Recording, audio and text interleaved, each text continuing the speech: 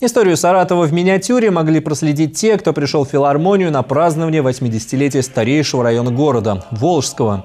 Зрителям напомнили о том, что составляет славу этой части Саратова – научные центры и больницы, набережная, вузы и колледжи, визит Петра I на Соколовую гору, открытие музея имени Радищева и строительство моста через Волгу.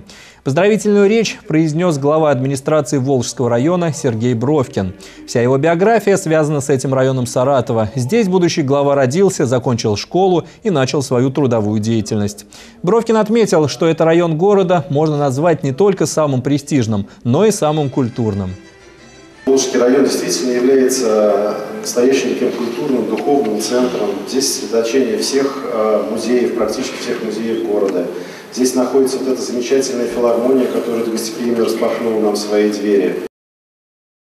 Многие выступающие отмечали, что главное богатство Волжского района – его жители.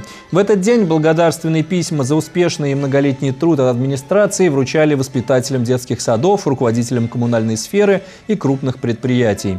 В день 80-летия Волжского района не могли не вспомнить еще об одной громкой дате – грядущем 70-летии победы в Великой Отечественной войне. Основные мероприятия 9 мая пройдут на Соколовой горе, а это тоже Волжский район.